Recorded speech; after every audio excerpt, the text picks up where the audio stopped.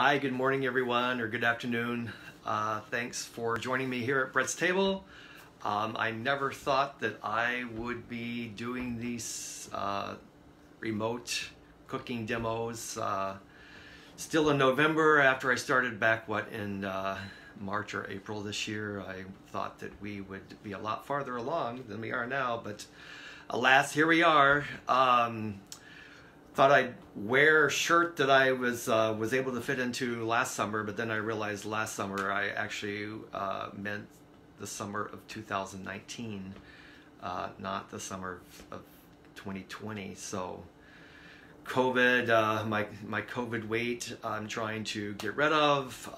Back on my my Weight Watchers wagon, and Today uh, we're going to make uh, a halibut uh, that is poached in a tomato sauce. So um, I'm going to move the camera here a little bit closer to the stove so everybody can see what, what I'm going to do.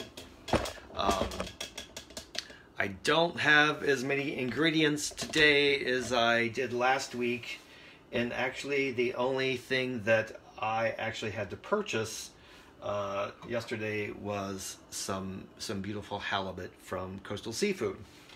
So originally, um, this recipe serves four, but I, I don't want to eat halibut uh, for a week. So I've got some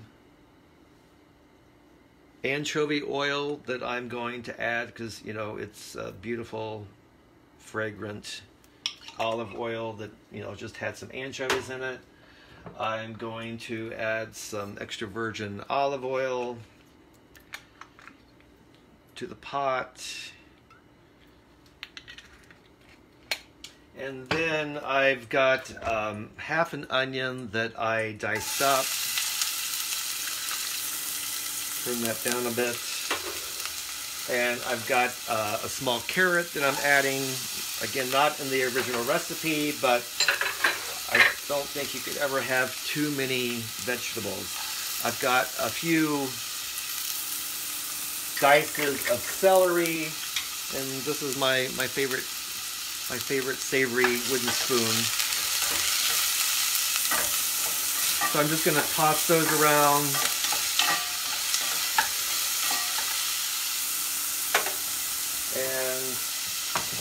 take a little bit of salt here in my beautiful salt box that my brother Kevin made.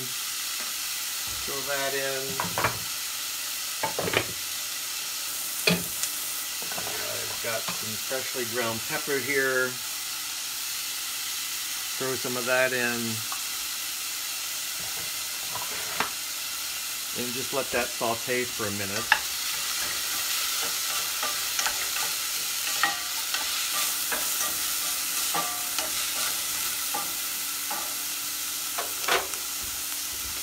Even even when I cook uh, for you know a recipe that's theoretically for one, uh, sometimes it ends up being so much that I um, actually have it for a couple of a couple of meals, and that's okay. Um, you know, I don't I don't consider uh, leftovers a bad thing. Um, I often cook like a whole chicken, and then uh, you know cook the chicken in various ways throughout the week, whether it's in a stir fry or in a soup or um, you know an Indian inspired dish so that you know dinner can take you know as little as 15 minutes on a weeknight because uh, I'm, I'm still working full time and so it's still nice uh, to have food that's easily prepared uh, and can be put on the table quickly. So I've still got my um, my onions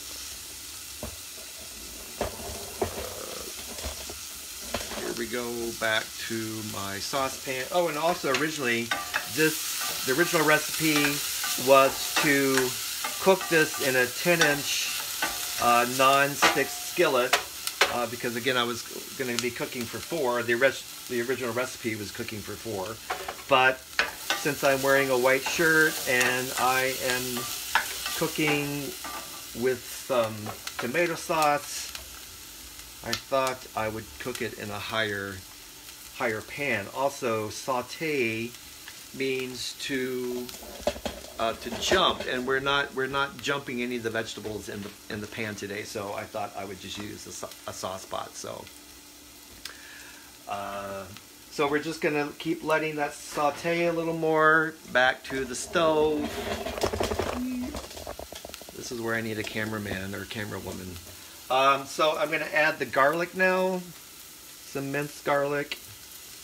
Oh, and also just to let you know, um, the celery that I just put in the pot a few minutes ago, I actually grew uh, and harvested that back in September, and it's been perfectly fine in my refrigerator now for almost two months. So, you know, homegrown is best. So I'm going to add a few fennel seeds and I'm going to add some herbes de Provence uh, just because I can and I'm putting those in now just to bloom them in the oil before I add my tomato sauce.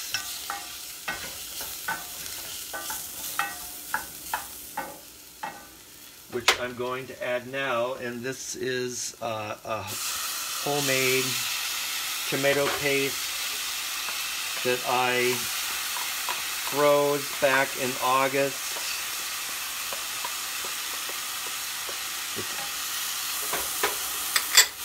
So I'm just going to add that. Still a little frozen. And I'm going to add some water. But before I do that, I want to add my capers. just cook that down a little bit.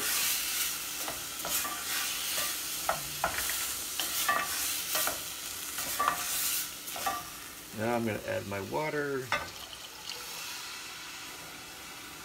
Turn up the heat.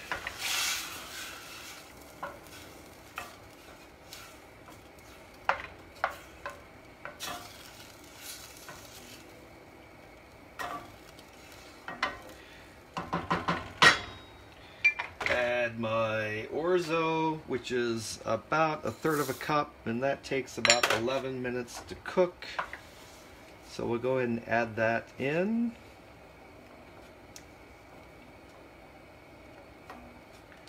Just let that get going here.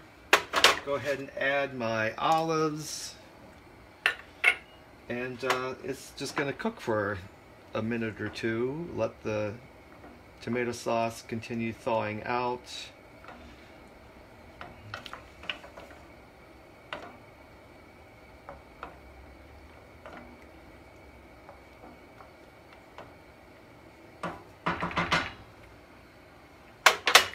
So, while that's cooking, I'm turn down the heat a little bit.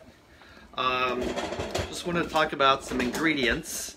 Um, like I said, these are this was uh, anchovies that I had purchased. Uh, a beautiful, um, very large anchovies.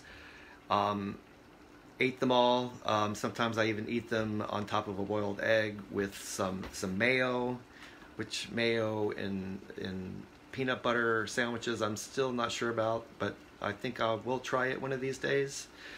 People claim that that's a southern thing, but the southern boy has never heard of mayo in peanut butter sandwiches, so not sure about that, but I'd give it a shot.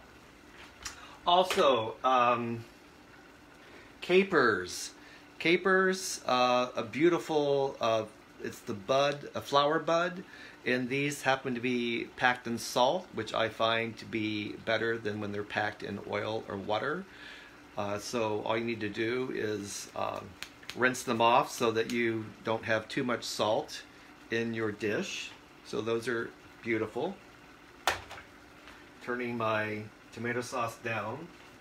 And um, I mentioned herbs Provence um, because I have a lot of it uh, that I brought back from Provence uh, when I was there the last time. And this actually is from a little um, olive um, olive oil producer called Moulin de Opio, and I have uh, quite a bit, so I actually put it in a lot of things. It's it's amazing.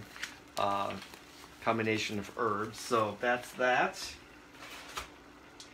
Um, and this, I don't, I think I mentioned before, this is a jar uh, that I purchased uh, in Biot, France, which is the same color and size as the jar that Julia Child uh, owned when she had her house in Provence. So had to get that.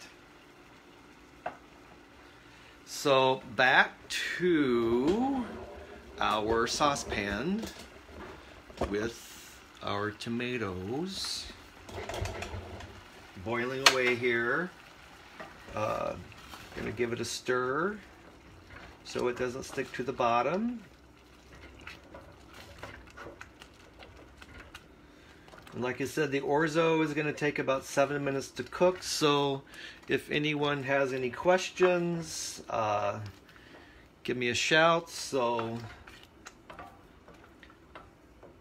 the recipe, the original recipe also said that the uh, fish would take 10 to 12 minutes to cook, which I don't believe that to be true, at least not the thickness of the halibut fillet that I purchased yesterday, so I don't want to put it in too early, otherwise it will overcook.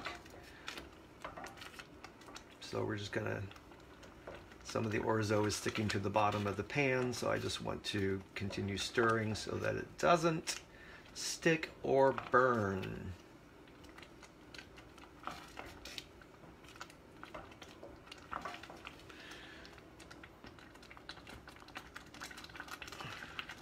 Yes, I agree. I love Biot. Um, love the artisans that do glass blowing.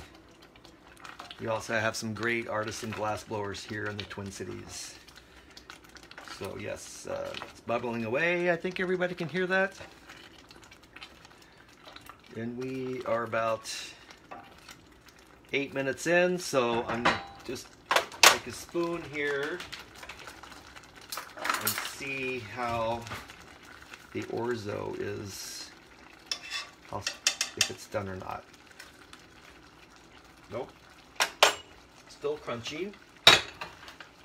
Um, turn that down. Add some more salt. You should always be tasting our food. Don't rely on just a recipe to tell you whether or not something is sufficiently seasoned. Use your taste, use your smell, use your eyesight. You're all very intelligent people, so trust your instincts. And as you can see, the orzo, as it cooks, uh, it's releasing the starch, which is thickening the sauce.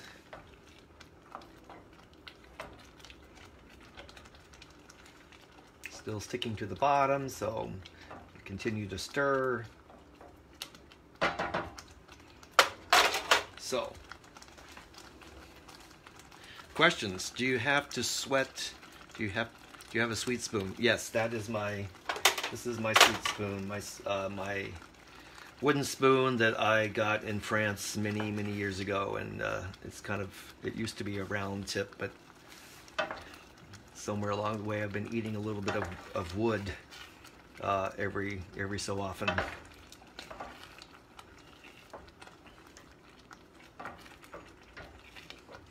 And yes, I do have a spoon, one spoon for savory. Um, I have another spoon for sweet. Uh, if I'm doing uh, sweet applications, because the wood does have in parts, you know, or keeps uh, some oils, which I don't want to have in a in a sugar syrup or something. So I am anal that way. Here's a spoon that is um, dedicated just to stirring chocolate uh, that I have. So different utensils for different purposes. Here is um, uh, olive oil, uh, not an olive oil, but an olive scoop. So uh, the French uh, have huge jugs of, of olives that oftentimes they cure themselves. So this is a spoon to dish olives out. I have another one here um, that sadly I don't have a source for fresh olives to cure my own, or I would.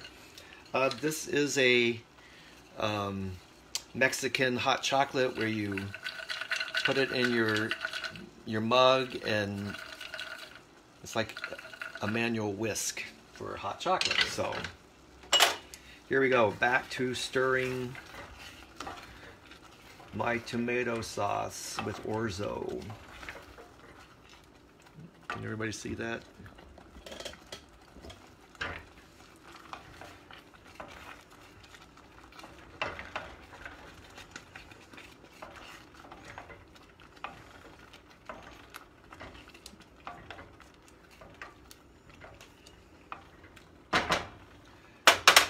taste it again, see where we are. Hmm, yes. So I'm going to add my halibut now because the orzo is almost cooked. And I'm going to take and spoon the tomato sauce over the fish just so that it cooks and I'm going to give it about um, five or six minutes. So,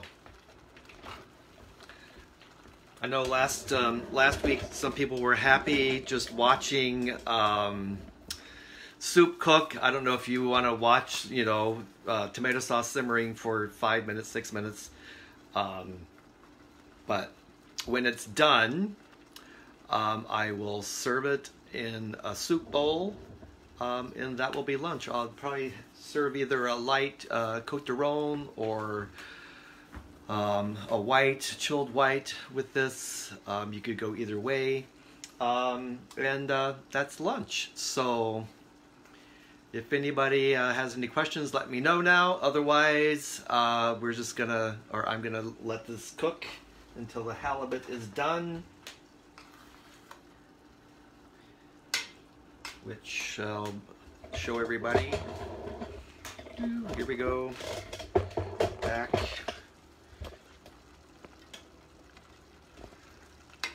See the once the fish becomes opaque and yeah, it, this won't take 10 minutes to cook. So it's it's cooking nicely.